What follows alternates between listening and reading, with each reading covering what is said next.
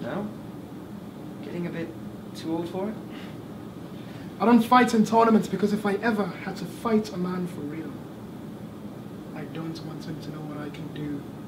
Well said, well said. Though I do hope you accept his offer.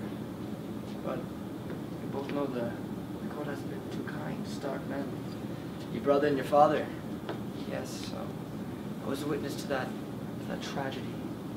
I know you were. And I suppose it's some consolation the killer did meet his justice. You don't need to thank me. Oh, that's right. You never did. Was it justice you were thinking of when you shoved your spade in the Mad King's back? It was his kidneys I was thinking of. His liver and his spleen. So what's the deal with the Vista Cruiser? Deal isn't, isn't a deal yet. So how are we getting to the concert? Shut up! What concert? Todd Rundgren. When? This weekend.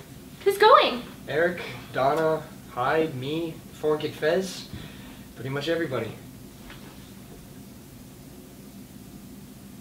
And you. Oh, good, good, good. Thank you for telling me, Michael. Um, I'm gonna get a soda. Me too. Yeah, me too. Sit I'm down. punch you in the over. That's what I'm gonna do. Straight shot. Ooh, ow. right in the baby maker. the jazz flute is for little fairy boys. I can't work with her. Devotion. To you. To my family. I search the faces of the heavens, the gods, for ways to please you, to make you proud. Yet I can never do it. What is it in me that you hate so much? All I've ever wanted to do was make you proud. One word.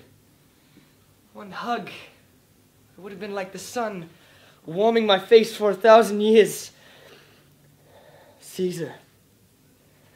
Father.